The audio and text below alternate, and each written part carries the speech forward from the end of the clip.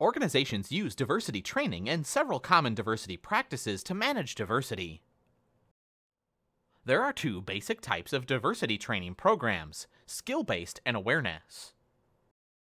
Skill based diversity training teaches employees the practical skills they need for managing a diverse workforce, such as flexibility and adaptability, negotiation, problem solving, and conflict resolution.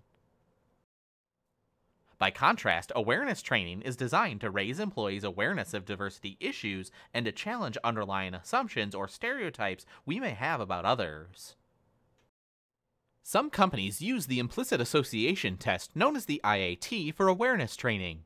The IAT measures the extent to which people associate positive or negative thoughts, that is, underlying assumptions or stereotypes, with blacks or whites, men or women, homosexuals or heterosexuals, young or old, or other groups. Companies also use diversity audits, diversity pairing, and minority experiences for top executives to better manage diversity.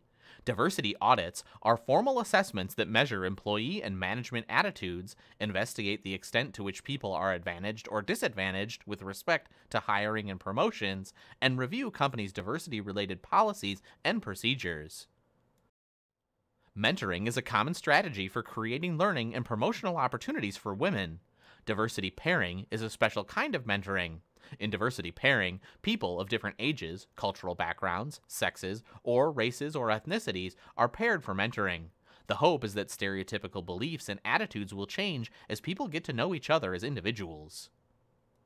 Because top managers are still overwhelmingly white and male, a number of companies believe that it's worthwhile to have top executives experience what it's like to be in the minority.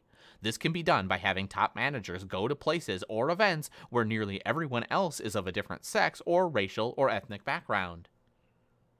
So, what works in terms of diversity training?